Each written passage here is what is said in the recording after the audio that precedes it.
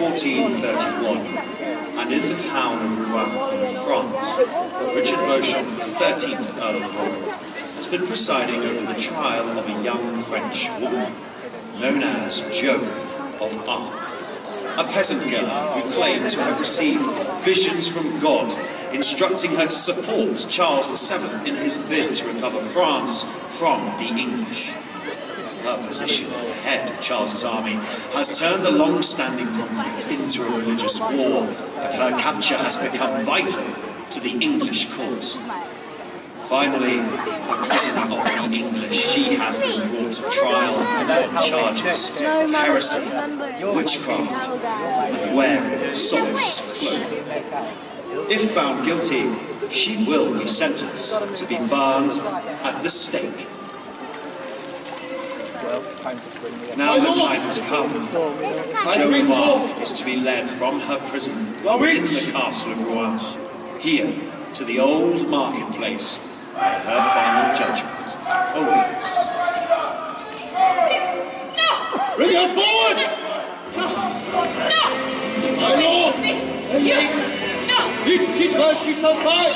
Her final judgment! For she, my lords and ladies, is the devil in disguise! Not fool for her trickery! No! It is time to meet your father!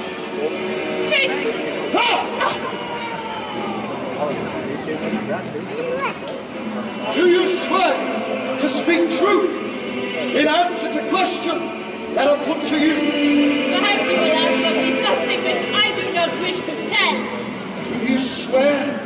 speak truth in answer to questions concerning your blaspheming name?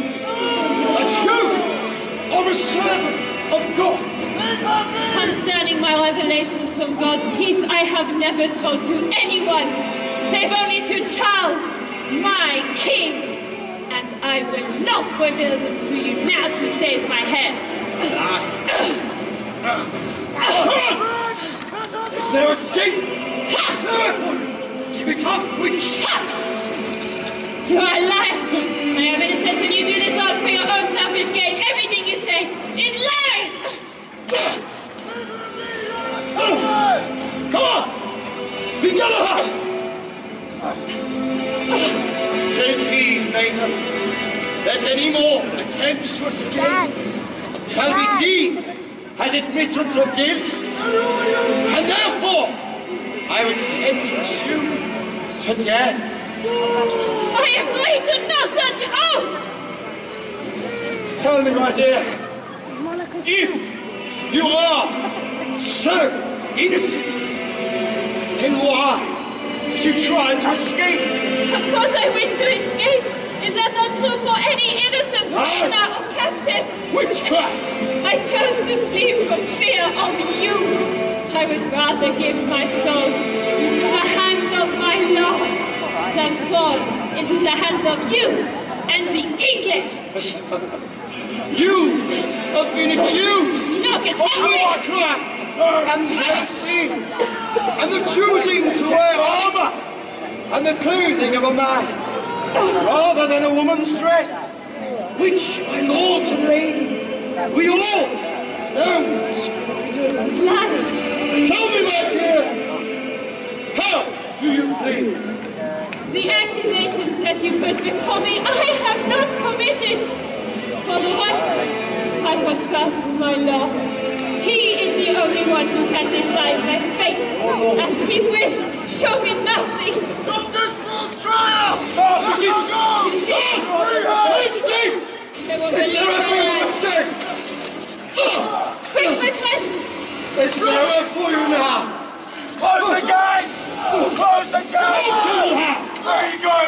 I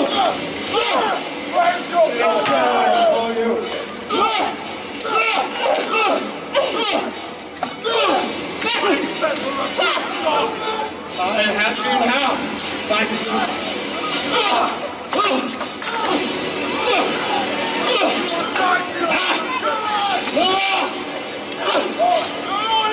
Run, Washington! little pig! What still on the fire. Ah! You will die as well. Please, Blackwell! Please, promise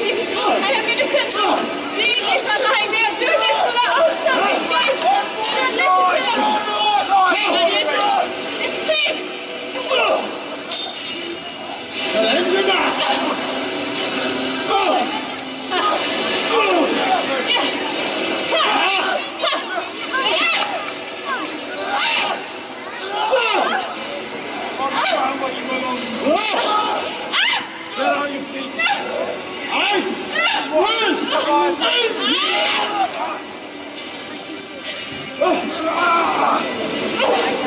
Enough!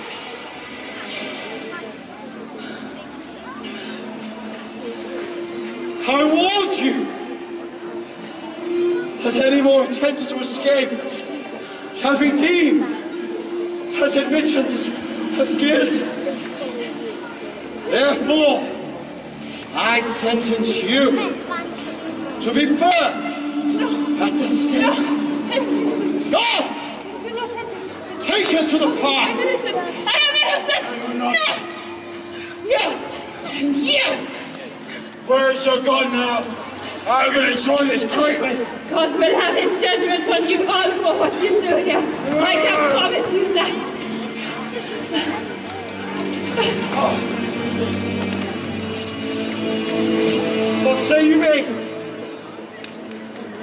Does your Lord see you now? Perhaps these flames will purify your soul. Will nothing down your unrelenting heart. No? Very well. Then I have no more to do here. Send me back to the God from whom I came. And when I arrive at the gates of heaven, I will cry to my Lord Father for vengeance. You say that you are my judge? Take thought on what you do here. For truly, I am sent from God, and you have put yourself in great danger. Where is your God now?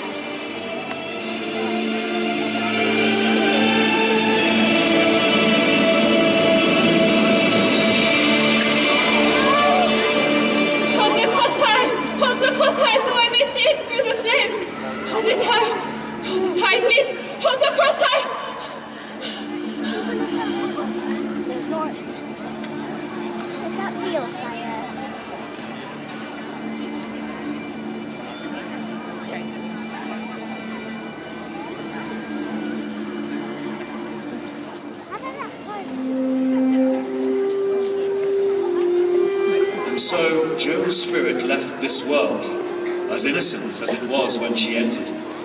But what now will become of her judge and executor, Richard Beauchamp, Earl of Warwick?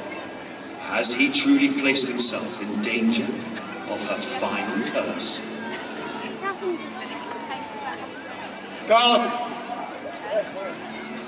gather up her ashes. We shall take them down to the river Seine to be discarded.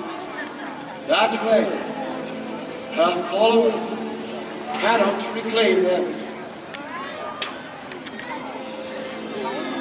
Join the Earl of Warwick as the story continues down into the island, where he ventures across from the sand to discard Joan of Arc's ashes at 8.30 pm for the final chapter. Martyr's journey into a nation. The story carries on.